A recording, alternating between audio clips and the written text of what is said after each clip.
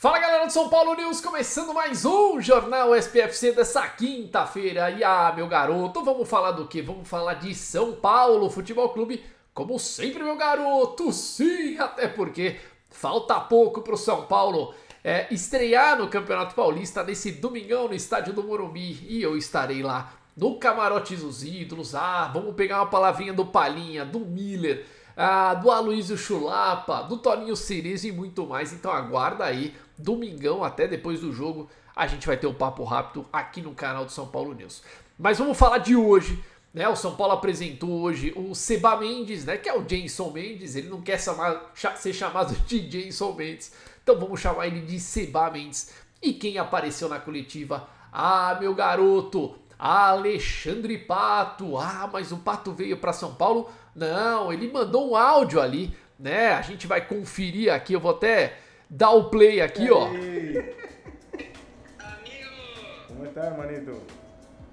Tá aí, ó. Alexandre. Pato. Aquí.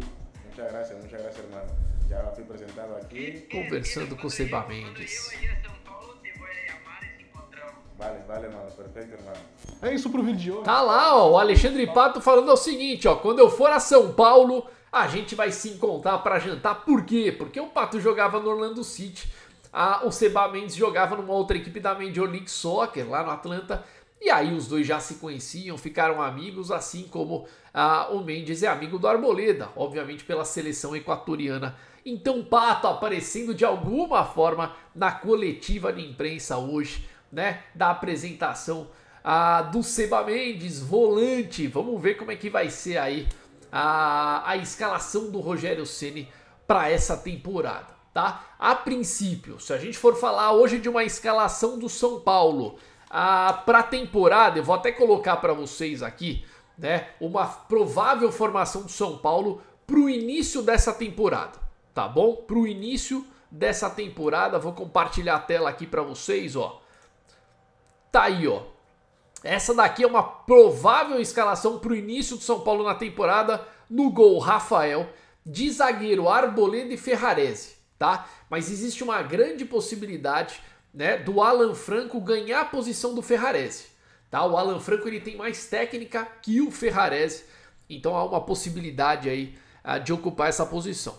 Lateral direita, a princípio, Rafinha. O Igor Vinícius ainda tá é, se recuperando de uma lesão. E do lado esquerdo, o Wellington.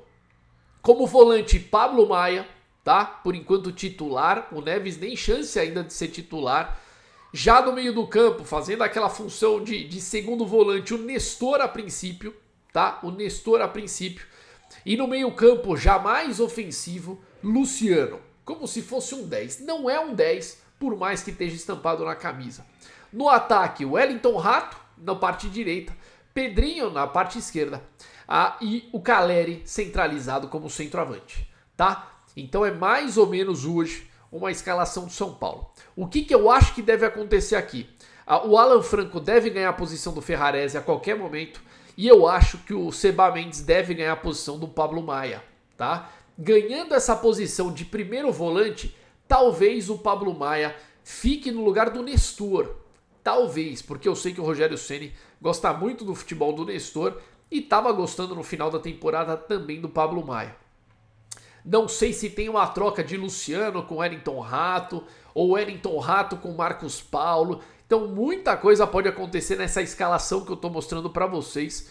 Mas essa foi a escalação que o São Paulo jogou contra o São Bernardo, o jogo é, treino aí nesses últimos dias. E vamos ver como é que o São Paulo então vai enfrentar o Ituano. Provavelmente uma formação muito próxima dessa daí que eu estou mostrando para vocês.